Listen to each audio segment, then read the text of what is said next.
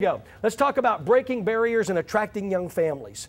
In just a moment, Dan Cook, our founder, is going to talk to you about Not Your Parents' Church and about the millennial generation and things that we have to think about in this future about being relevant and be able to build a church today that our children and our grandchildren want to go to even after we're long and gone. So let's talk about some barriers. First of all, you have to clearly identify and communicate your unique vision. I know that we use these terms mission and vision interchangeably a lot of times, but I want to tell you that if you don't understand or can clearly communicate what your vision is, it's going to be very difficult for the people of your church to have buy in to what that vision is well. So, how do we find out what our unique vision is? What are we known for? Vision is the unique fulfillment of what I call the fivefold mission of your local church within your community.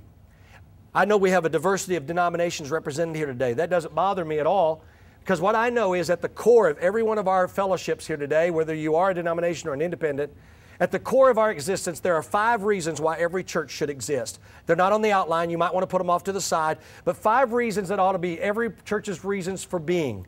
Number one is evangelism. We exist to seek and save the lost. We ought to exist to bring people into fellowship with Christ. Number two is discipleship to take those new converts and to bring them into a mature relationship with Christ where they are a devoted follower of the Lord Jesus Christ submitted to his lordship. Thirdly is Christian fellowship. I believe we ought to create a community of environment where people come together, encourage one another, pray for one another, build one another up through Christian fellowship, a community of caring. Number four, I believe we exist to be a place of corporate worship where believers can come together and worship God in one mind, in one accord, one heart, and one spirit, bringing glory and honor to God. If we are the body and He is the head, what greater way can we glorify God than to come together in harmony and unity as believers in the body of Christ to worship God? And fifthly, is Christian service. That our assignment is not complete with just getting people to come to church and raise their hands and sing and clap. Our job is to make sure that every person identifies their special gifting and role in the body of Christ and fulfills that. That's the mission. That works for anybody. But the unique way in which that mission is fulfilled in Shawnee, Oklahoma City, Lawton, or any of the other communities around that are represented here today, whether it's inner city, rural, whether it's uh, uptown or downtown, the way it fleshes out within the context of your community is going to be what's unique about you. Do you know there are certain churches that immediately when you say them, you identify their uniqueness? There are churches that have the Christian schools. When somebody says, "Hey, do you have a Christian school?" or "Where, which church? Where do I go to have uh, to take my kids to a Christian school?" You know the Christian churches in your church in your town that have Christian schools. If, if you're looking for one that maybe has a dynamic youth group, and you hope that yours is that one, but many times there's a church in town that seems to own that city, especially in smaller towns, that seems to have the the going youth group in town. So, what you have to do is you have to find out what is your signature piece. How are you known or identified in your community? Hopefully, you're not known by the two preachers who lost their marriages, a school that closed down, and an evangelist that killed that lady in the altar. But hopefully, you have a better identity than that. That, that we had to work on. We had to work on what is our unique identity and how are we going to come across. Our unique identity becomes the fact that we are a multi ethnic church, that we are a church planting church. We have a lot of different unique pieces about us. Another thing that sometimes people find a little controversial but I feel very passionate about is that the vision of the church and the identity of the pastor has to somehow become synonymous. That when you speak about the church, they think about the pastor or the leadership. When you think about the pastor, they think about the church. Whenever I think about Tommy Barnett in Phoenix, Arizona, I think about the Phoenix First Assembly as a great soul winning church in that area. If I say Phoenix First Assembly, I think about Tommy Barnett. When I think about different churches across America and begin to identify them, when I say Bill Bright, then you think about Campus Crusade for Christ. When I say Campus Crusade for Christ, you think about Bill Bright. We also talk about the three colors of vision. I don't know if any of you have been introduced to uh, the Natural Church Development, Christian Schwarz, but he's a great writer, great communicator. Uh, he's written a lot of great materials. He wrote a, a, a piece called The Three Colors of Ministry. After I read the article on the three colors of ministry, I became convinced that there was an application to vision. And I discovered this principle, and this principle has helped me be the most effective vision caster I think I could have ever been in my ministry by learning the principles of the three colors of vision. I'm going to share them with you as quickly as I possibly can. The concept behind the three colors of vision simply says that people, people in our churches basically represent a color, and that most of our congregation consists of one of these three colors or a mixture of these three colors red, green, and blue. They attach those three colors to the Trinity, the Father, the Son, and the Holy Spirit. In this case, we would ascribe the green color to God the Father. Now, we understand that they're three in one and they're all equally God. I'm not trying to demean that in any way, but we do believe that they have independent roles, that the Father has a role, the Son has a role, and the Holy Spirit has a role. So I'm talking about the roles of each of them. And in Scripture, we often see the role of the Father as kind of being the architect of the master plan, that God created the plan for redemption, that God sent His Son, that God is kind of the one. In some of our great theological worship hymns of days gone by, we'd often talk about how that God created the majesty of the universe. And so God is seen as the architect, the mastermind, the, the, the, the intellectual center, if I can use it in that way, of, of the Godhead, orchestrating the master plan. Green people are, are people who view things purely from an intellectual, analytical approach. Intellectual, analytical. So that anytime you endeavor to do something, they want the facts, they want the nuts and bolts about it. Remember when Jesus was about to feed 5,000 people? Immediately somebody stepped up and said, Do you know how much that's going to cost? That was the green guy in the room. He was the number cruncher going down the road and saying, Do you know how much that's going to cost? And there are green people. In fact, there are denominations that are predominantly green. That doesn't mean they don't have any red or any blue in them, but there are denominations that the majority of their constituents are green people high level thinkers, very analytical approach. I could talk about Presbyterians, Episcopalians, people that often have in their constituents a lot of doctors, a lot of lawyers, a lot of high thinking, high level intellectual. They approach God from a reasoning, intellectual approach of, of being. It doesn't mean you can't have a doctor in a Pentecostal church or a Baptist church. I'm just saying, by and large, you look across the nation and you will see higher level thinking people in maybe churches that reflect that kind of approach in their worship. Very liturgical, very high thought provoking, high teaching levels. Well, the red represents Jesus. Jesus is kind of the missional person of the Trinity. He left heaven, took on earthly robes of humanity, came down, rolled up his sleeves, got down and dirty, and he became very missional about reaching the lost. There are churches that are very red. They have the outreach oriented. They're, they're knocking on doors. They're doing community canvassing. They have the, they have the food pantries. They have uh, any kind of an outreach oriented focus. They have the clothing rooms. They're, they're very missional in their design. They, they're willing to leave comforts to go do something significant in terms of outreach and impact in the community. And then there are people who are blue, and blue people are associated with the Holy Spirit.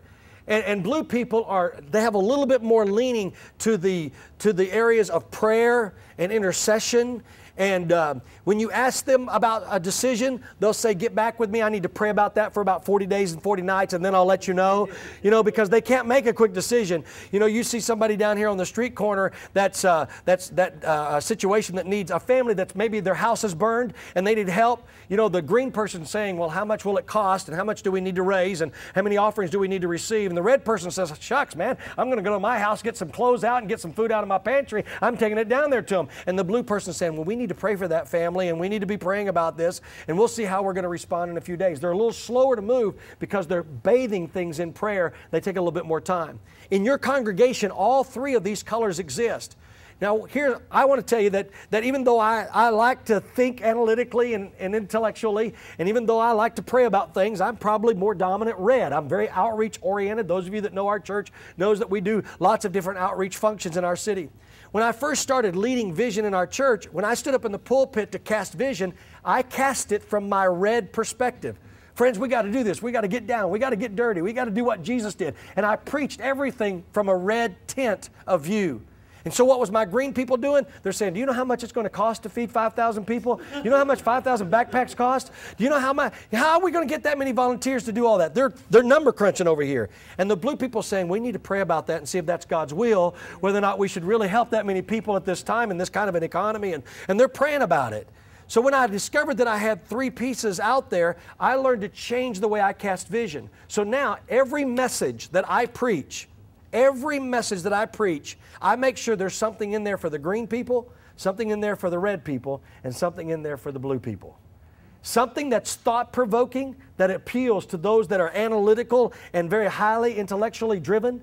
I have something in there that's passion driven about rolling up our sleeves, making a difference. I preach about something that involves, you know, about the Spirit of God, what's going to happen, the spiritual impact that this is going to have in the lives of people. If I was opening up a brand new youth camp and I wanted to raise support across the, uh, uh, our state for a brand new youth camp, then, then I would make sure I had all three colors in my presentation. I'd say, this is how many square foot it is, this is how much it's going to cost, these are the dollars and cents of it. And then I would go back and I would say, you know, this is going to be the difference that we're going to be able to make. We're going to be able to take kids and, and, who are maybe don't ever get to go to church and their families will send them to summer camp we'll be able to introduce them to Christ. We'll be able to introduce them to a, a life with Jesus Christ. We're going to be able to open up to underprivileged kids and kids that are struggling and blended family kids and we're going to be able to minister to them. And when they get there, we're going to be able to pray, and the blue side is going to come out of me. And I'm going to say, who knows? Some of these young boys and girls are going to come out, and one day they're going to be our pastors, and one day they're going to be our missionaries, and one day they're going to be our evangelists. So, what I've done is I've given something red, green, and blue to everybody. Now, I know we have new technology today, but when I grew up in the 60s, I was born in 1960, and I remember about 1965, my parents brought home the first color television in our home. And I remember that first color television. If any of you probably had that experience, you remember that behind the television there was three color tubes, a red, green, and a blue tube. And, and you could play with the hue and the contrast of the color to get the exact picture and the tint that you wanted. But if one of those color tubes went out, like the red tube, everything on the screen was green blue because you didn't have a red tube. And you could play with the dials all you wanted to, but until you got all three of those colors in there, you weren't going to have a clear picture.